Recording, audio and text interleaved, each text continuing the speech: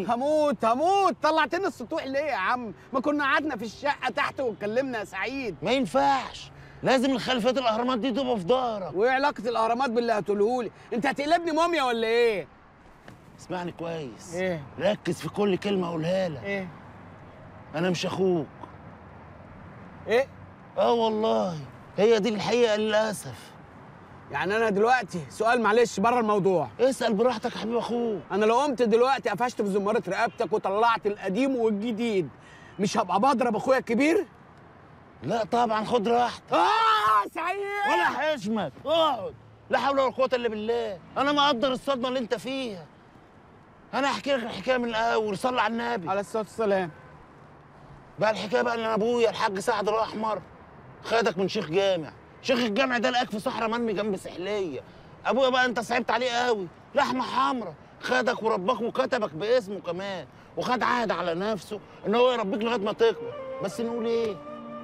ربنا افتكره الله يرحمك يابا قمت أنا مسكت الرايه من بعديه خدتك وربيتك وكبرتك ونضفتك لما بقيت عامل زي البغل. وصرفت عليك بما يرضي الله. 128 ألف جنيه. مكتوبين اهم ممكن أسألك سؤال يا سعيد؟ اسأل يا حبيبي براحتك. هو أنا اسمي حشمت؟ لا. اللهم لك الحمد والشكر وربنا وربنا. أنا كنت واثق ان أنا مش حشمت. حشمت إزاي؟ إزاي؟ أنا خالد عادل ثروت سراج. قول لي بقى اسم الحقيقي إيه؟ عنترة. نعم. عنترة ابن سلومة. والمفاجأة الكبيرة إيه بقى؟ اللي أنت حفيد البطل الهمام عنترة بن شداد. عرفت بقى أنا جبتك الأهرامات ليه؟ وإيه علاقة الأهرامات بعنترة بن شداد؟ جرى إيه؟ خوف وخفرع وعنترة ناس أكابر ما يطلعش من بقهم العيبة. بقول لك إيه يا سعده أنت شكلك ضارب ربع 84 جاي تفوش عليا. يا عم اشتري مني للآخر. الشيخ بقى لما لقاك مرمي في الصحراء جنب السحلية شك شك إن أنا ابن السحلية. يا أخي لا. شك بس إن والعياذ بالله اللي أنت ميت. قاعد يقلب فيك يمين في شمال تحت فوق لغاية ما ربنا قدره ولقى دي. لقاها مبرومة ومحطوطة. محطوطة فين يا سعيد؟ ما تخبر نفسك.